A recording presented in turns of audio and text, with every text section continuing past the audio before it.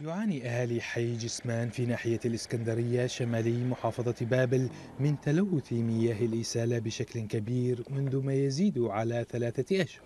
مي خايس. مي خيسة خيسة. يعني مي جايف ما نعرف شنو. نروح لهم ما حد يسمع صوتنا. لمن نروح هسه إحنا؟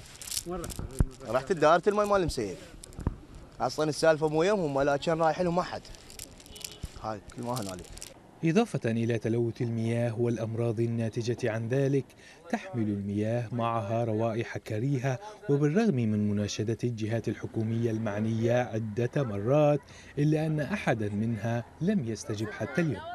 عندنا المي صار لنا ثلاث أشهر نداعي به. المي خايس فد نوب غادي فد نوب. رحنا المدير ال- المجاري مال المي قال ما يخالف أنا استلمت جديد ودا يشتغل الرجال. بس إحنا ما حد يعالجنا ويجي لهنا. شنو السالفة؟ ورحنا للمختار والمختار هم ما يقصر والله. وراح لهم وقال لهم ما يخالف. وهذول الأطفال لاكو سبح لاكو مي لاكو هاي.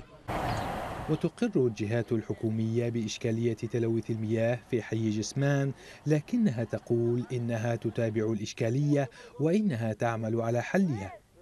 بعد إجراء الكشف الموقع تبين أن هناك آه، يعني تداخل المنهولات الخاصة بدائرة المجاري. مع الخطوط الخاصة بدائرة الماء. آه، مثل ما تعرف هذا يعني أي خلل يصير بأي اشتراك يسبب تلوث وخاصة عند انطفاء وتشغيل المشروع. حي جسمان أحد مناطق العراق التي تعاني من الإهمال والتقصير الحكومي الذي يتفاقم يوما بعد آخر.